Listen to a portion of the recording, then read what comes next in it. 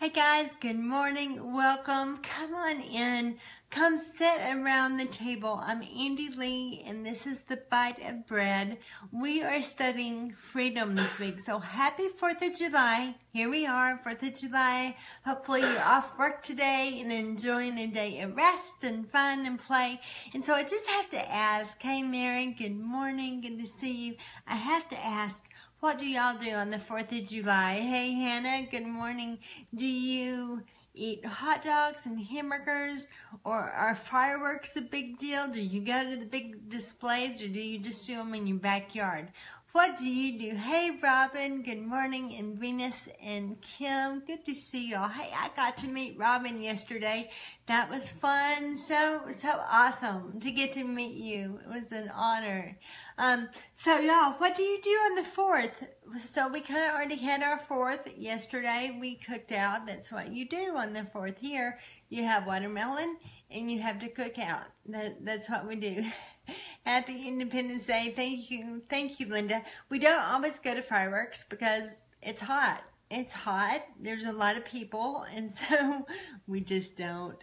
When I was a kid, I was scared to death of them. So anyway, but I do like them. I just don't like the crowd and the heat. So, good morning. Hey, Allison, good to see you. You go to a parade and cookout and fireworks. Kim, you do it all. That's awesome. That's a lot of fun. When I was little, we had parades and I was in the parade. That was always fun to do. We got to um, decorate our bicycles and, you know, our dogs. And it was fun. A lot of fun. Cookout. Hey, Sarah, good morning. Okay, I've got my coffee. Do y'all have your coffee this morning? I have my coffee with one of my favorite mugs that says I need mascara and caffeine. Those are two musts for me to feel better in the day. So anyway, let's get started. Let me hold your hands, pray us up. Good stuff today. Learning another piece of freedom. Yesterday we learned about the Spirit setting us free. Today we're going to read something else that Jesus said that sets us free. So hey Kathy, good morning. Hold my hands. We're going to pray and get us ready for today. So Father, we love you. Lord, we praise you. Wherever you are, wherever you're praying this morning, if you can, just say, Lord, I love you and I just praise you. Hallelujah. I just invite y'all to pray with me out loud. Hallelujah. We worship you. You are God, and there's no other God before us. You are our Savior, our healer, our Redeemer. You are our brother, our friend. God, you are our Father. We come to you as a child of God. Thank you that Jesus made the way.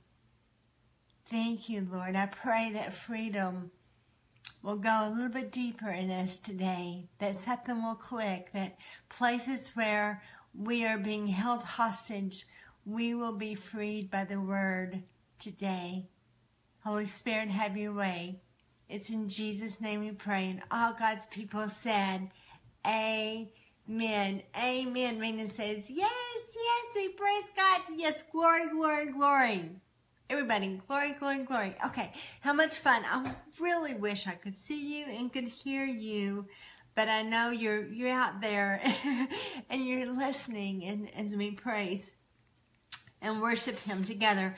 So, you know, I said I think at the very end of yesterday's um, video that I heard this great kind of paragraph within the teaching on Sunday, Jason Baisden, one of our pastors at Life Point, said praise is one thing and worship, I, actually it wasn't Jason, Mm-mm, I think it was our worship leader, um, Daniel, um, Daniel Walters, but he said praise is one thing and worship is another. And praise we do with our mouth and we do with singing and, and worship is something we do with our life. And so we are worshiping Him. One way we worship Him is by studying the Word, by digging into the Word and learning that Word and what it means and how it applies. You know, the Word of God is kind of like a cheesecake, cheesecake, apple pie, chocolate bar, whatever you want to put in there, or whatever is yummy, delectable to you.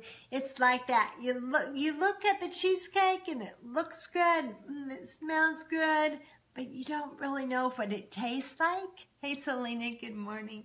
You don't know what it tastes like until you cut it and you get that fork and you take a bite and you start to chew on it and you start to ingest it and you taste it and then you really know how good that cheesecake is and the same is true with the word of god we are we read it we can read it we can listen to it but not until you really start digging into it cutting cutting through digging into the word looking in it we all can do this. You don't have to go to seminary.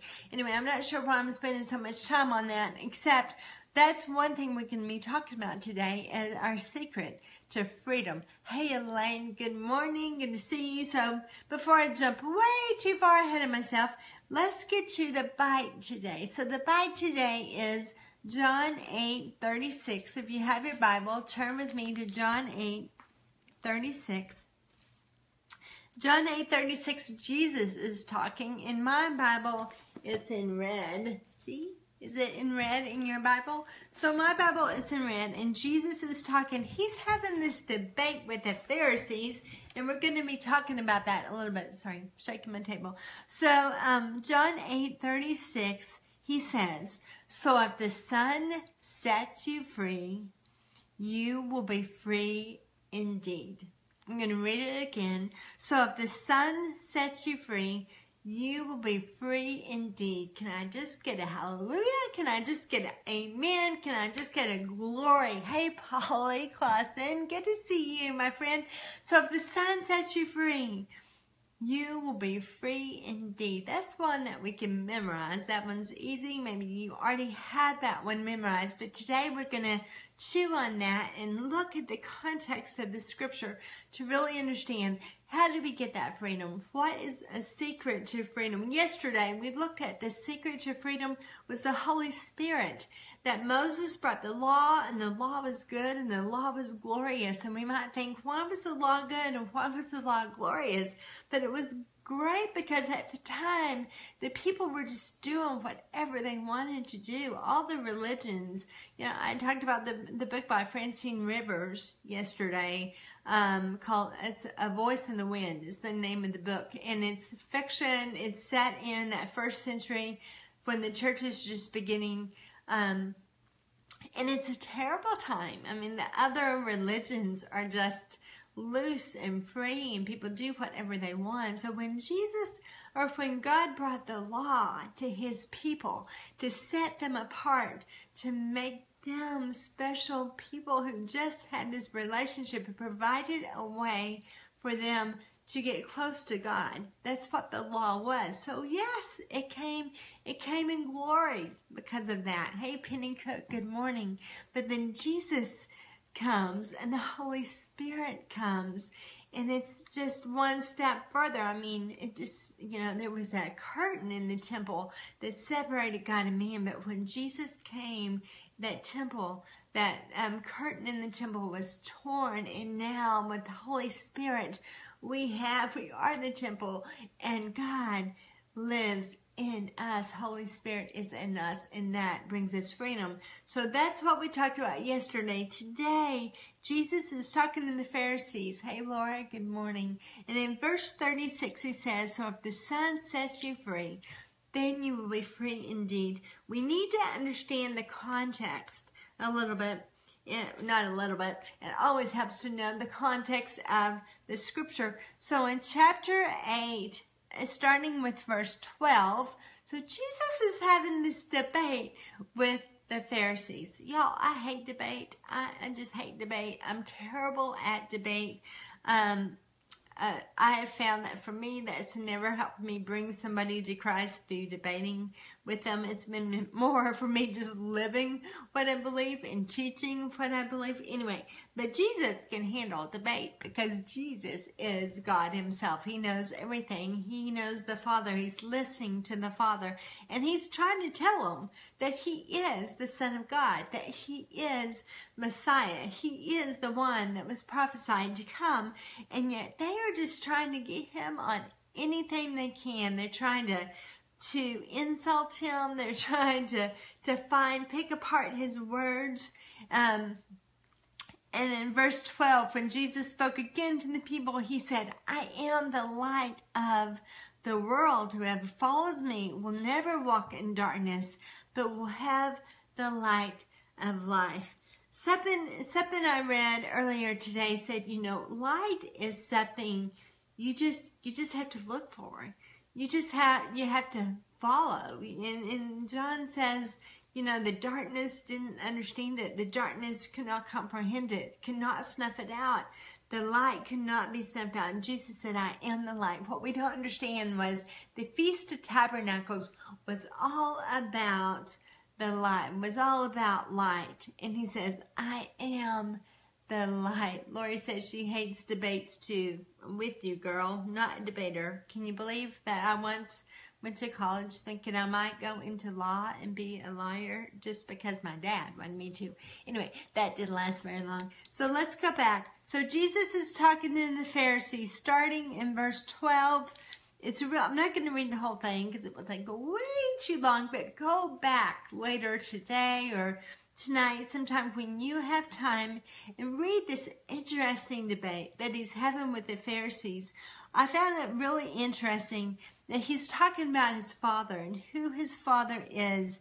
Uh, verse 19, it says, Then they ask him, So where's your father? And when I read about the, comment, the commentary in that, said they were insulting him because they knew, they knew the the story of his virgin birth, the virgin birth, and um, that he didn't really have a human father. And so they're in, insulting him there, and uh, because they were bringing up the scandal of Joseph and Mary, and we don't think about that. We forget about that. We think people just, you know, just oh they they didn't really know what was happening, but everybody knew. It was a small town. So Mary and Joseph and that whole scene, the Bible doesn't talk about it a lot, but it was scandalous what happened.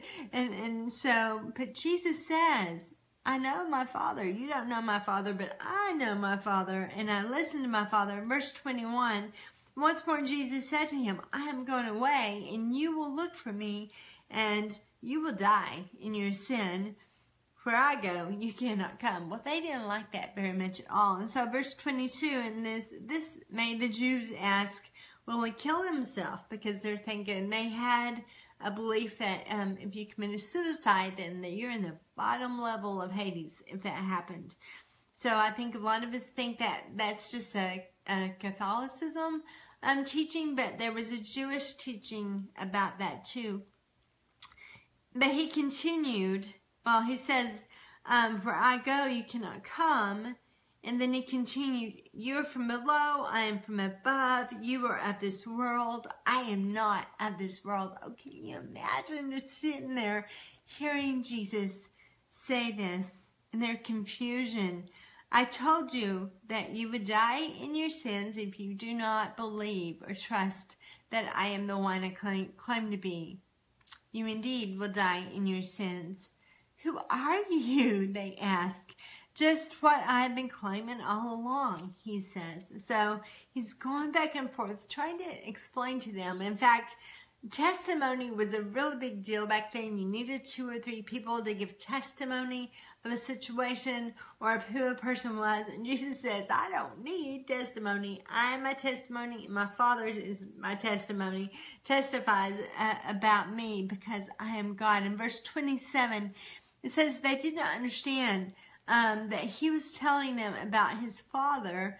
So Jesus said, When you have lifted up the Son of Man, and he's talking about crucifixion, when you have lifted up the Son of Man, then you will know that I am the one I claim to be, and that I do nothing on my own, but speak just what the Father has taught me. That was a prophecy that when the Son of Man came, when Messiah came, he would do what God told him to do.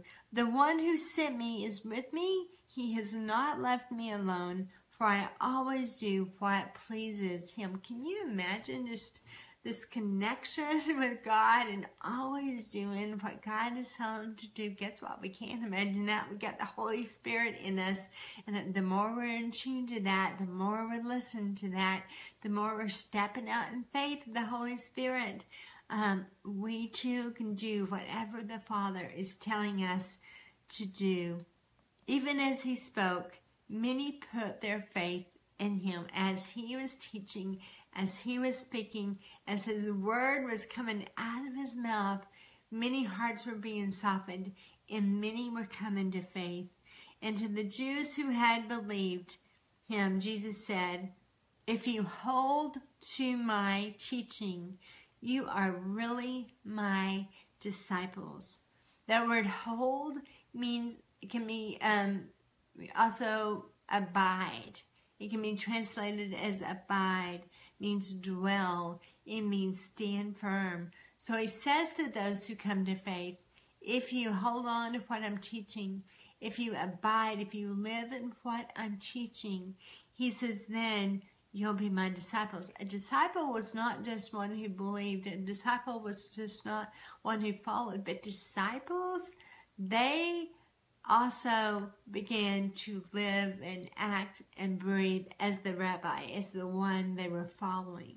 So a disciple was really more than just a pupil or a learner, but a follower who, who began to live like the rabbi did. And he says, then you will know the truth, and the truth will set you free. So truth is a big deal here. Truth is key. Then you will know the truth. How are they going to know the truth?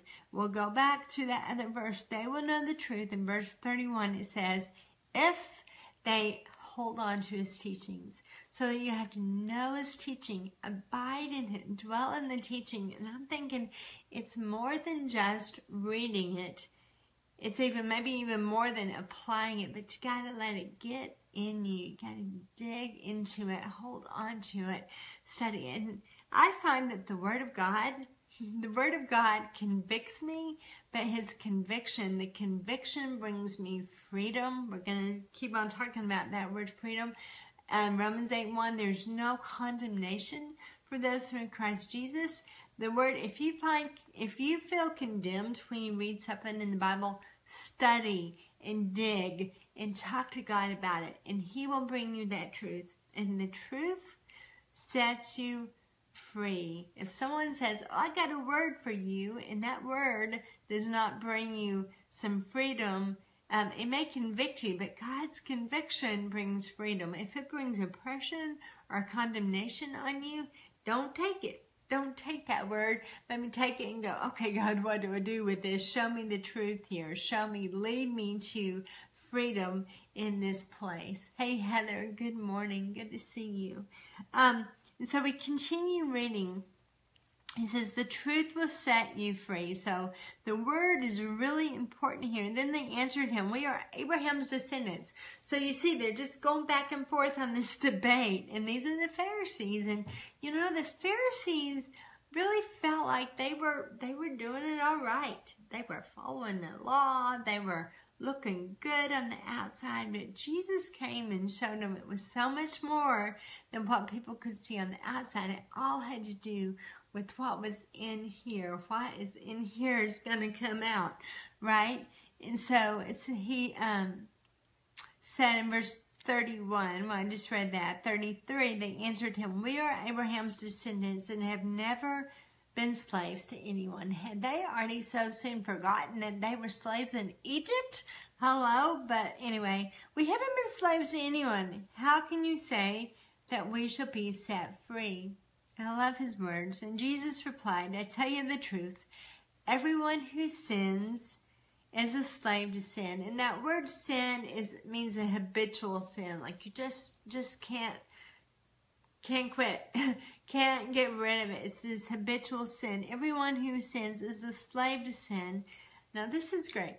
Listen to these words. Now, a slave has no permanent place in the family.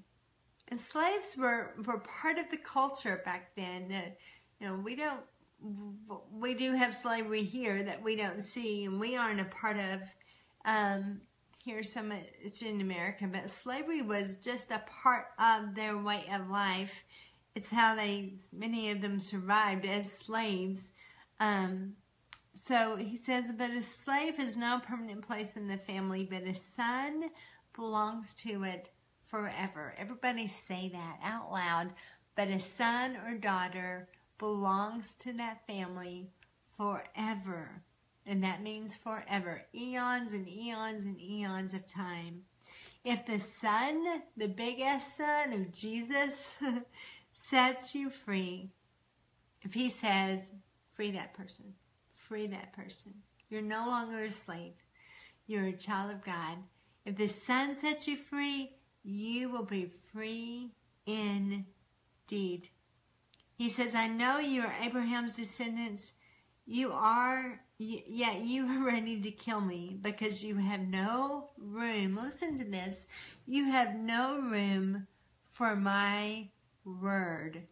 This is key. Talking about the word, talking about um, abiding in his word, right? Abiding with his teachings. He says, You have no room for my teachings.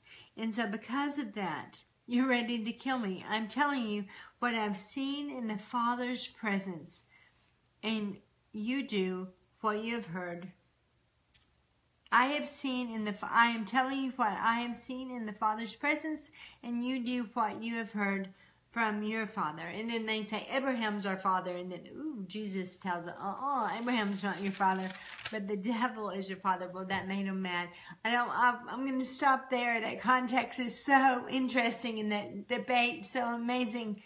but I don't want us to lose the point here. What sets us free? Hey, Lisa, good morning. What really sets us free, according to Jesus' word here, is abiding in the Word, holding to His teachings, holding into the Word. So you go back, and I was talking at the beginning of this um, broadcast about digging into the Word that we can read it, we can look at it, kind of like you can look at a cheesecake and mm, it looks good, and but you don't taste it. You can't don't get any inside you until you cut it. You take a bite, you chew it up, and you swallow, and then you can taste it. and You get the everything that, that the cheesecake has, right? And so the same is true with the Word of God. We can read it or we can listen to it, but our lives change. The freedom is found when we actually dig into the Word. We hold on to the Word. We live according to that Word. That is what sets us free. The Spirit, Spirit brings freedom, as we saw yesterday, but also the Word brings freedom, abiding in Jesus. Um, so Romans 8 17 says, you know, we are joint heirs with Christ. He has that piece where he talks, he's talking to the Pharisees and he says, a slave is not part of the family, but when his son sets you free, you're free indeed. And also then, not only are we free, but we have become part of that family of God, part of co-heirs with Jesus. Um, the Bible doesn't save us. We know Jesus saves us, but his words will free us. They will give us freedom. No other teaching, no other teaching can do that. Only the words of Jesus, only the Bible, only that can do that. Once I did have a debate, a very short debate, with a man who claimed to be a humanist. And I really hadn't been around humanists very much, and I'm not around them very often in, anymore at all, but had an opportunity. We, we were part of a online newspaper, religion paper, if you will. So I got to be around others who who professed other things and believed other things. And um, one time he said to me, he said, "What is truth? There is no truth." And that was the saddest thing anybody could have ever said to me because if there is no truth, if there if you don't believe there's truth, if you can't find truth, then I believe we're just lost. There's nowhere nowhere to stand. There's no foundation. We're just sinking in that sin, right? But our truth, who's our truth? What's our truth is Jesus. Jesus is our truth and we stand on Him. The Word of God, this is truth. And I believe when you start living this truth, when you start digging in the Word, if you struggle with the Old Testament, just read the New. Just read all of the red letters of what Jesus was saying and live in that truth, and you will find that freedom. We must know it. It's got to get inside of us. Again, the Word of God might convict you, but that conviction I've always experienced is freeing. It frees me of myself. It's freed me from my idolatry. It's a free. It's freed me from my selfishness. It's freed me from my wrong way of thinking. You know, renewing our thoughts. How do we do that? With the Word, and that sets us free. The Word of God will not burden you, it will set you free.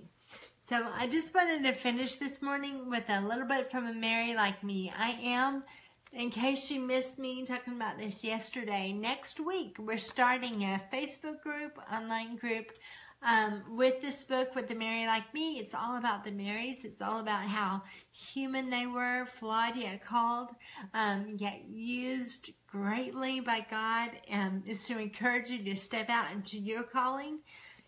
And so if you're interested in being part of that online group, go to my website, wordsbyandylee.com, and click on the top. There's a Facebook Mary Group um, page, and you can click on that and find out what to do to be a part of our group. But I just wanted to read a little bit from it um, this morning. One of the uh, chapters is about Martha's sister, Mary, you know, the perfect one who sat at Jesus' feet.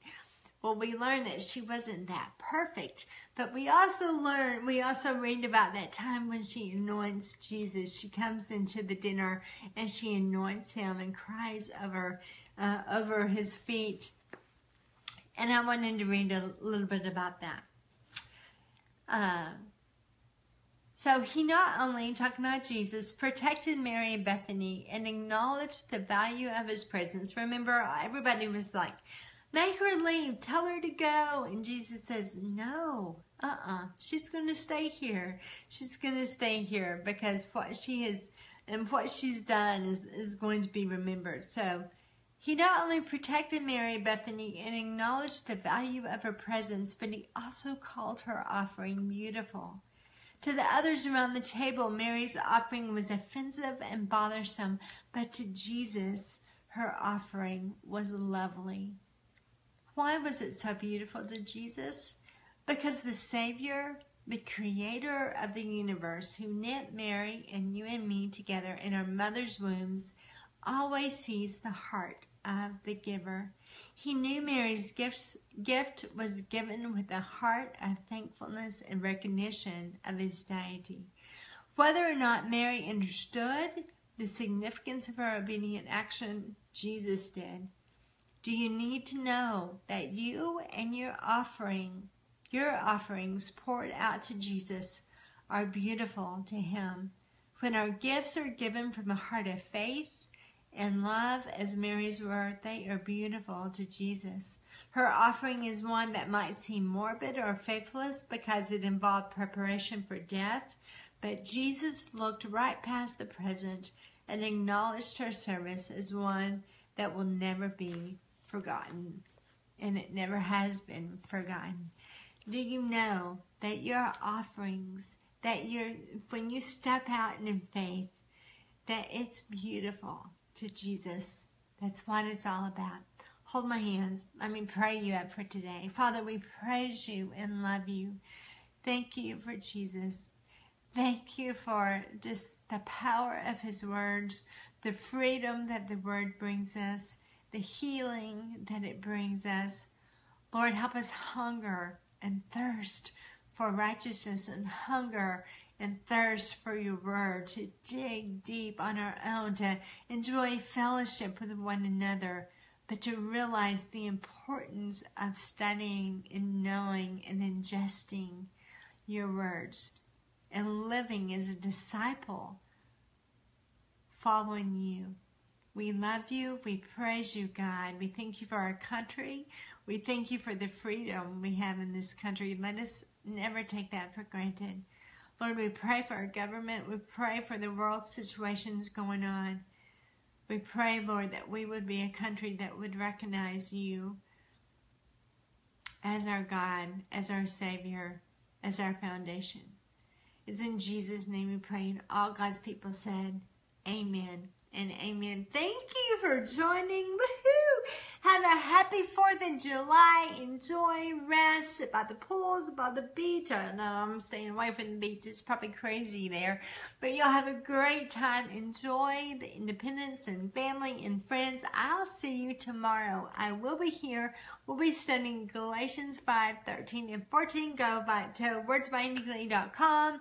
Look at the Mary Facebook group, and you can also find um, this week's Bite of Bread list. Mwah! Y'all have a great day. Love you. Bye.